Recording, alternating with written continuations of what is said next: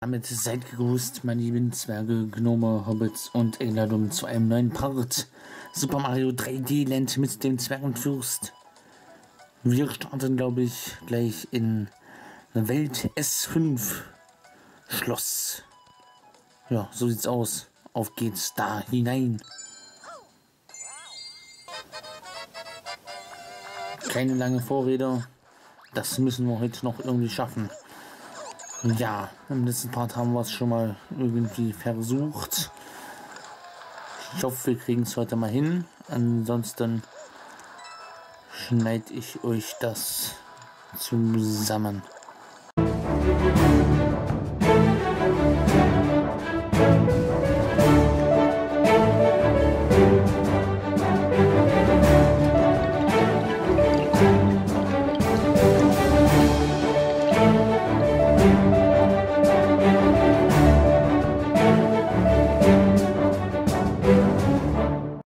Hat mich im letzten Spiel schon, äh, Quatsch, im letzten Part schon ordentlich beschäftigt, dieses Level.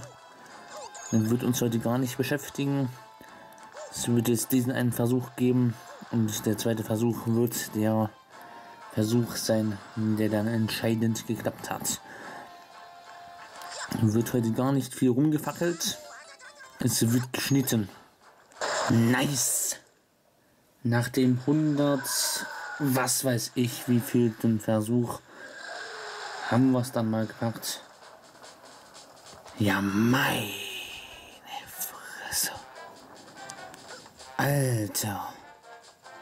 Irgendwann gibt man dann schon auf und will gar nicht mehr dran denken, dass man es irgendwie schaffen könnte und dann klappt es erst irgendwie. Wir haben zwar keine Star Sternmünze, keine Starcoin und die goldene Flagge erst recht nicht, aber ja, komm, wir haben es geschafft. Weiter geht's in Spezialwelt 6. Ist auch irgendwie ernüchternd, wenn man ja nach hundertsten Versuch dann halt noch gefühlt schon eine Stunde aufgenommen hat und wirklich nichts als verwendbares Aufnahmematerial hat. Du hast halt da schon 100 Versuche gemacht und nichts davon kannst du für dein Video verwenden. Ist natürlich auch blöd. So, S61. Müssen wir auch drei Welten hier schaffen. Drei Level. Drei Welten hoffentlich nicht. Aber drei Level. Damit wir heute noch zu etwas kommen. Ja, irgendwas muss ja im Video sein. Ach du Schande. Und dann den Giftpilz. Die ist ja vielleicht scheiße. Giftpilz. So, und wie kommen wir da jetzt hoch? Wie war denn das gleich? Ah, so kommen wir hoch. Das ist natürlich auch eine Variante. Okay. Hier ist noch ein Brettchen. Da müssen wir wahrscheinlich auch drauf. Na komm. Dreh, Schrubb, Schrubbs. Der Schrubbschrauber. Ne, der Schrubbschrauber ist was anderes. In der Star Queen. Nice. Die erste. Die erste in diesem Part und die erste in diesem Level. So, dann mal weiter durch die Tür. So, der erwartet uns die nächste Star Coin. Oder noch nicht? Nein. Ein Zeitdingens, was wir im letzten Part, äh Quatsch, im letzten Level sehr gebrauchen hätten können. Hier ist nur ein netter Bonus, aber ja. Schön, hier nette Bonuszeige zu haben, die man anderswo nie begabt hätte. So, wie kommen wir denn da jetzt hoch? Verrätst du mir das jetzt? Hm.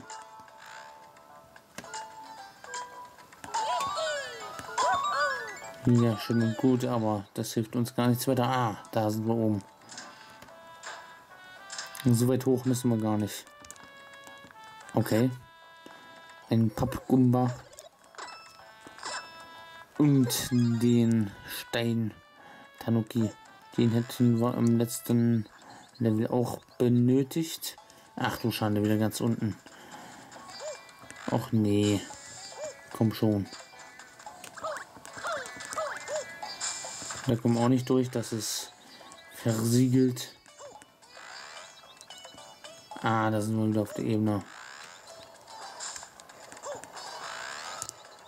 Kann ich da irgendwo hoch? Das wäre gut, wenn ich da hochkomme, käme. Ja, nice. Lässt sich doch alles machen. Ah, okay, hier sind wir. Und nun? Bringt wohl nicht viel. Außer die Starcoin, die ich jetzt übersehen habe. Hm, naja, komm. Lass bleiben. Lass stecken. Und rote Münzchen. Die hole ich mir. Oder auch nicht. Na komm, ja. One up. Das ist doch nice. So sind wir hier schon an Zielflagge oder was? Ja, das ist die Zielflagge. Komm, das kriegen wir auch gut hin. Haben zwar jetzt nur einen Starcoin, aber Hauptsache wir schaffen mal die Levels und kommen mal voran. Hm, das ist das Wichtige. Ich will heute schon die ersten drei Levels der Oh, die dritte Starcoin der Spezialwelt 6 abgeschlossen haben. So, zwei Starcoins und die goldene Fahne. Immerhin etwas. Die zweite haben wir auch gesehen. Die dritte, zweite. Geht ja recht schleunig voran. Da können wir jetzt uns in Welt S6 2 wagen. Auf wie? Wenn dieser Part heute etwas kürzer ist, ist das halt. Ich habe dafür länger dran gesessen. Ich habe in dem Schloss noch eine Stunde gefühlt dran gesessen. Bestimmt waren es nur 20 Minuten, aber es hat sich angefühlt wie eine Stunde. Trotzdem, Zeit habe ich jetzt heute für diesen Part sehr viel aufgewendet. So. Hops in die Hops. Das sieht doch hier alles viel entspannter aus als in dem Schloss, in dem wir gerade eben waren. Und da bin ich doch gerne in so einer Welt. Auch wenn die Zeit knapp ist. Lässt sich sie doch leben. Und ich ja auch jeden Gegner killen muss. Auwei. Oh. Selbst das habe ich überlebt. Ist die Atmosphäre doch hier schon viel entspannter. Das lässt sich doch machen. Hui. Verdammt. Ja, komm. Das war dasselbe Prinzip von dem Bowser-Schloss, aber ja, bei der Sache bei der Seifenblase-Atmosphäre, kann man sich dann auch wirklich nicht beschweren. Das ist ja auch machbarer. Denke ich zumindest. Und die Donuts hier. Nein. Es ist machbar, wenn man nicht so ein wahnsinniger Trottel wie ich bin und von solchen Donuts runterfällt. Ja, komm. Das weiß ja jedes Kind, wenn man da runterfällt, dann muss man schon ein ziemlicher Idiot sein. Aber das kennt ihr ja von mir. Ich bin in Super Mario Spielen generell immer ein ziemlicher Idiot. Skills habe ich da keine. Auwei. So viel zu den Skills. Ich denke mir auch so, ja, wenn Videogames tödlich wären, also wenn man, wenn man im Spiel stirbt, auch echt sterben würde. Ja, holla, da würde ich ja nie wieder ein Super Mario Spiel in die Hand nehmen. Aber definitiv nicht. Das wäre doch mal ein guter Stoff für ein Horrorspiel. Horrorfilm natürlich. Horrorspiel vielleicht auch. Ja, gibt es aber bestimmt schon ein, zwei Male. Kann ich mir gut vorstellen. Kam bestimmt schon jemand vor mir auf diese Idee.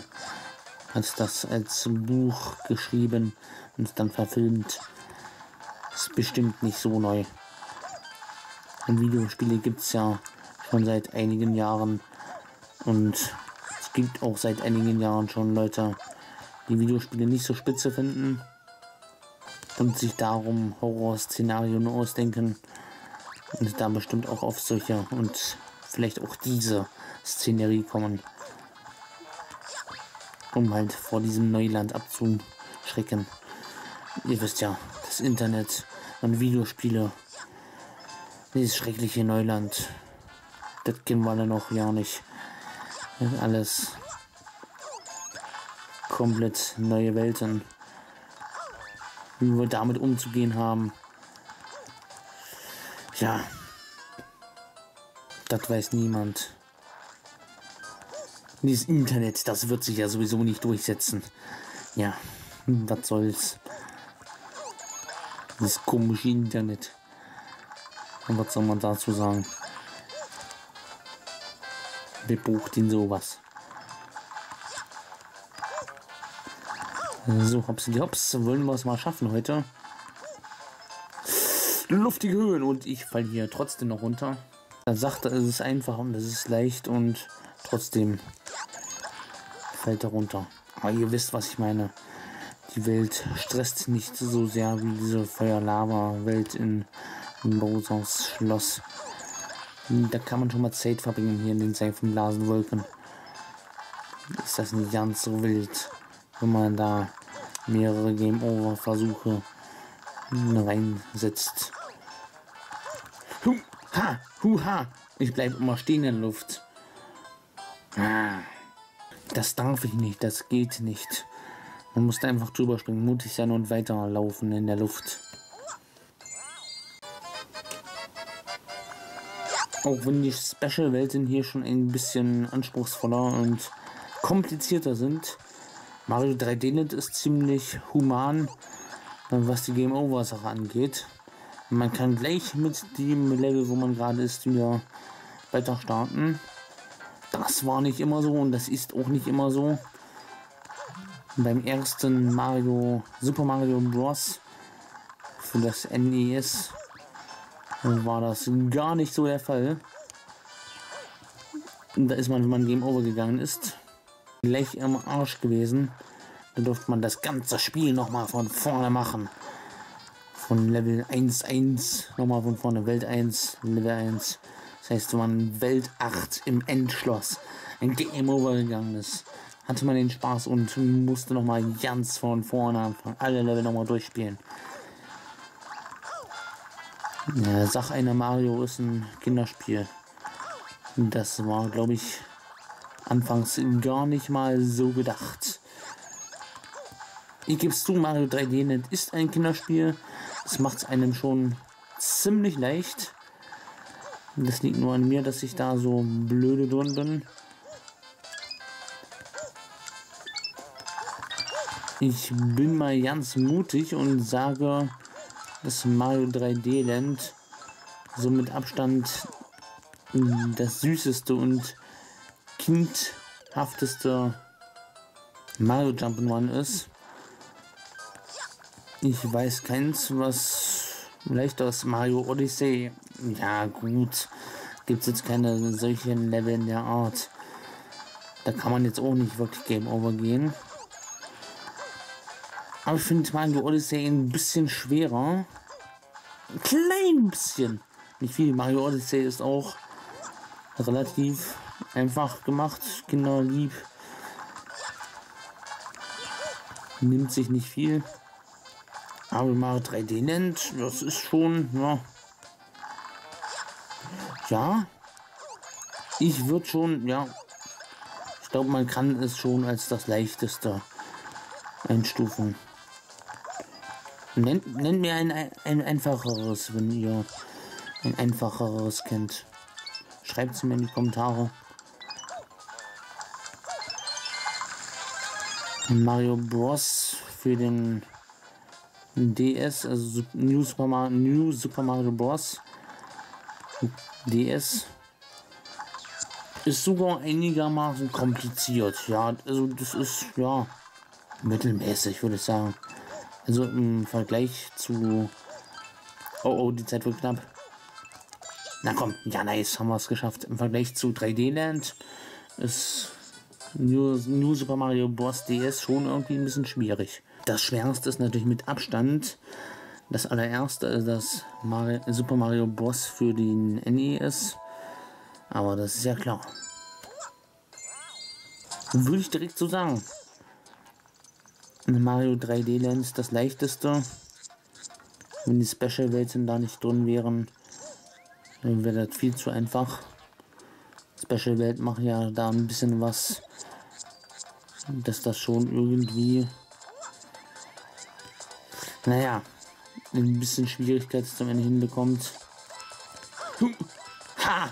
Huha! Nein, nicht! Verdammt, da hilft mir nicht mal der Stern was. Na komm, das Level müssen wir hier noch. Und dann haben wir auch was geschafft für diesen Part. Auch ohne Tanuki geht das. Kriegen wir hin. Also, 3D-Lens das leichteste und ach du Schande. Und Super Mario Bros. Verdammt, ich muss auf die Biene springen. Für den NES das schwerste. Was willst du machen, wenn mir da jemand widersprechen möchte? Meldet er sich. Ich werde da keine Liste für machen. Wenn da kein Listenvideo für euch erstellen. Das nicht wirklich. Verdammt, was ist denn los mit dir? Heute. Mama mia. Meine Güte. Zweggy, du bist doch besser. Das ist doch. So scheiße bist du dann doch auch nicht. Oh nein, vom Kettenhund gefressen. Du bist zwar ziemlich scheiße in Super Mario, aber so scheiße dann doch auch nicht, oder?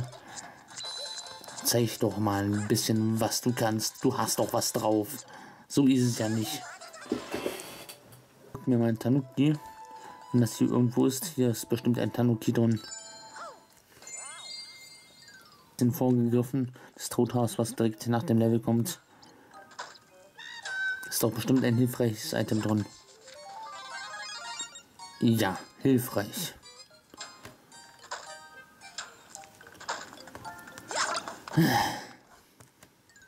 Und jetzt. Das schaffen wir doch jetzt auch noch. Ist doch jetzt nicht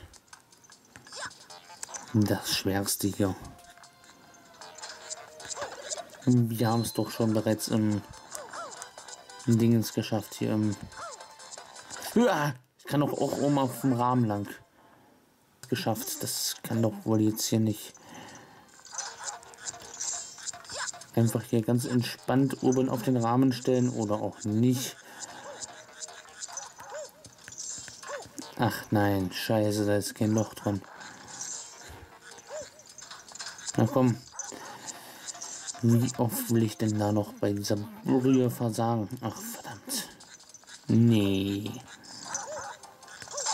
50 Mal gefällt hier. Einen Teil ist hier. Hm, ha, hu, ha. So. Und dann das Item drin. Aus der Stern hier. Hops die Hops. Und Karacho. Hui, sind wir so rübergekommen. Na komm, hoch da, hoch da, hoch da. Huh, huh, huh. Da runter. Da hops und da wieder hoch. Check the point. Ah, war das knapp. Ich krieg hier den Schiss. Schnell hier lang.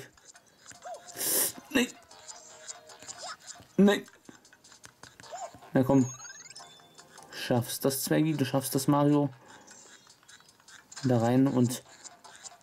Holla. Ich bin klein. Autsch. Autschi, Bautschi. Was für eine Spannung. Was ein Drama. Nein, verdammt, war so weit. Doch.